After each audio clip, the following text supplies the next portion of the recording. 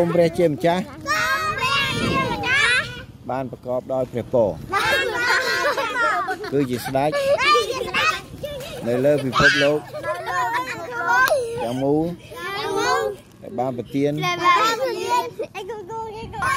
នផៃនេះលុយមកផែនដីនេះលើមកផៃនេះសម្រាប់ទូលបង្គំអាចដល់កូនចិត្តផៅនេះបានទិញនំញ៉ាំហើយដល់នំណា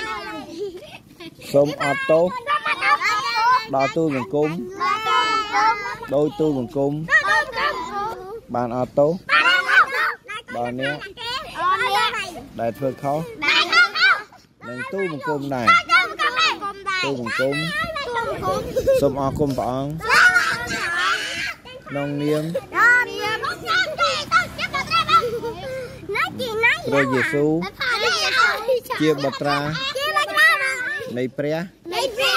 ដ៏មានដ៏មានគ្រប់គ្រប់ប្រភេទព្រះចេស្តាព្រះជាស្ដាអាមែនអាមែនអាទីនេះនេះពីរនាក់នេះហើយនេះនេះហើយពីរនាក់ហ្នឹងហ៎អូនកំប្រាំងអុយមកមកនេះហើយពីរនាក់នេះហើយពីរនាក់វាអូយមកចាញ់វាកោគុំក្តាំអុយអរនេះនេះនេះនេះហើយពីរនាក់នេះគុំគុំពីណាកូនខ្ញុំមកអាពីនេះនេះអុយពីនេះនេះហើយពីរនាក់អូនេះ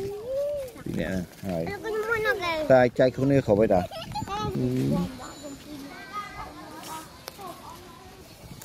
សូមអរគុណព្រះជាម្ចាស់នៅថ្ងៃនេះក្នុងនាមព្រះជាម្ចាស់ដ៏មានគ្រប់ជាស្ដាមែន